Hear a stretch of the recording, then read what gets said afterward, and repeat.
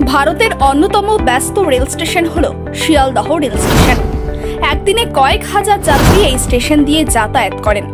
তবে এবার এই রেল স্টেশন নিয়ে নয়া পরিকল্পনা নিয়েছে রেল। পরিকল্পনা মোতাবেক শিয়ালদহ রেল স্টেশনের প্রতিটি প্ল্যাটফর্মের পরিধি বাড়ানো হচ্ছে। আগে যেখানে নটি বগি নিয়ে ট্রেন দাঁড়াতে পারত, এখন বারোটি বগি নিয়ে ট্রেন দাঁড়াতে পারবে। এতে যাত্রীদের স্বাচ্ছন্দ্য বাড়ার পাশাপাশি শিয়ালদহ স্টেশনে যে ভিড় হয়, তা সামাল দেওয়া সুবিধাজনক হবে। পূর্ব রেল সূত্রের খবর, আগামী তিন বছরের মধ্যে এই কাজ শেষ হয়ে যাবে। চারটি প্ল্যাটফর্মের দৈর্ঘ্য বাড়ানো হবে।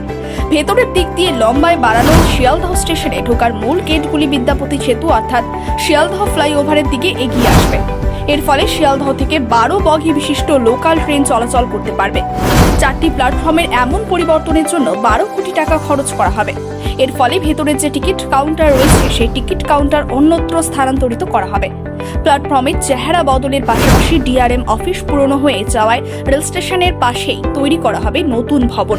এ প্রসঙ্গে পূর্ব রেলের এক আধিকারিক জানান, প্ল্যাটফর্মগুলি দৈর্ঘ্য বাড়ানোর পরিকল্পনা অনেকদিন ধরেই ছিল। সেই মতো ইতিমধ্যেই মাপঝোপ করা হয়েছে। পাশাপাশি টাকাও বরাদ্দ হয়ে গিয়েছে।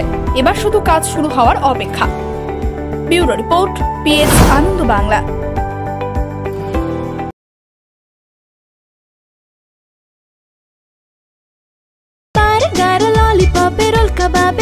দিলে বৃষ্টি। অপেক্ষাতে জেনে উপহারে ব্যস্ত দিনে, জন্মদিনে টেস্টি টেস্টি খাওয়ার কোনো ছুটির দিন হয় না।